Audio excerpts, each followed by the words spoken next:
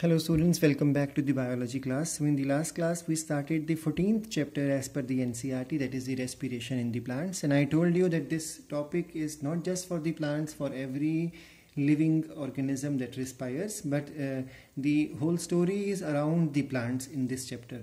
So we learned that cellular respiration is defined as the uh, mechanism of breakdown of the carbon to carbon covalent bonds of the complex organic compounds within the cell to release energy and this process may involve oxygen or may not involve oxygen. If it involves oxygen we learned in the last class then it is called as aerobic respiration. If it does not involve oxygen then it is called as anaerobic respiration. And we learned that the complex organic compounds uh, of which the bonds are broken are called as respiratory substrates and the favorite respiratory substrate is glucose or you can say carbohydrates. And the next ones are fats or lipids and the last one to be burned is the proteins. We learned that uh, during this process energy is liberated in step by step manner not uh, suddenly and at one step. So temperature is maintained at a constant condition and then energy released is used to trap to, uh, uh to form ATP and this ATP that's why is the adenosine triphosphate is the energy currency.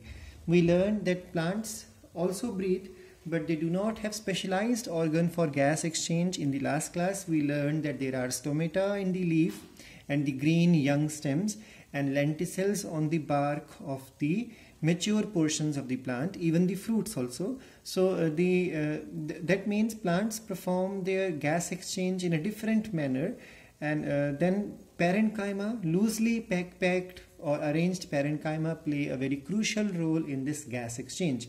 We learned the reasons behind why plants do not have specialized organs required. So we learned that there is uh, there, that every portion of the plant uh, or every part of the plant's body performs its own exchange of gas so there is hardly any transport of gases from one part of the plant to the other part of the plant. We learned this uh, there is not much great demand for exchange of gases except at the time of photosynthesis. And then uh, the distance that uh, plants uh, the gases need to diffuse is also not very much even in the case of a big tree that's why we learned that there are no specialized organs present in the case of plants for exchange of gases.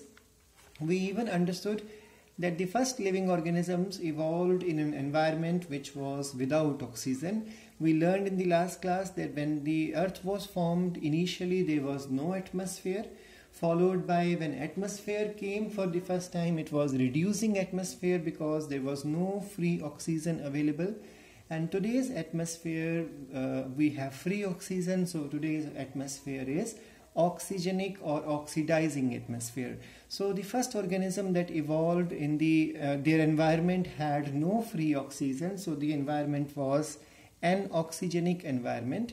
Therefore, they adapted to survive in the anaerobic condition. And by today's time, many of them have still survived and they have become two types of organisms. Some are still completely independent of presence of oxygen. So whether presence is, uh, whether oxygen is there or not there, they are not going to utilize the oxygen. So they are obligatory anaerobes and then the second category are which are able to switch from aerobic to anaerobic or otherwise anaerobic to aerobic mode of respiration dependent on, depending on the presence or absence of the oxygen gas.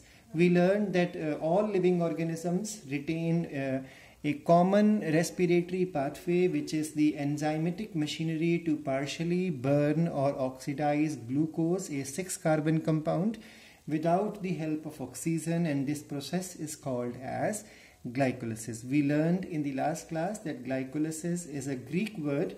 It comes from two different words of the Greek language, glykos which stands for sugar and lysis which st uh, stands for the splitting. And uh, we learned that this concept was explained in detail by Embden, Meyerhof, Parnas and because of this this this uh, whole pathway because they explained it so it is also called as EMP pathway.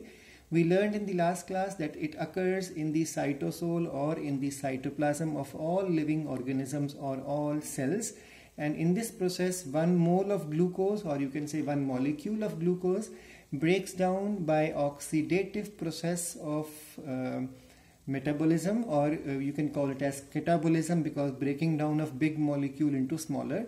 So it's a type of catabolic pathway in which one glucose breaks down into two pyruvic acids. Remember glucose carries 6 carbon pyruvic acid carries 3 carbon and in plants uh, this glucose comes from sucrose and we learned in the last class that invertase enzyme is involved in breaking down this disaccharide called as sucrose into two molecules of monosaccharide. One is glucose and the other one is the fructose. Remember both are isomeric forms of each other.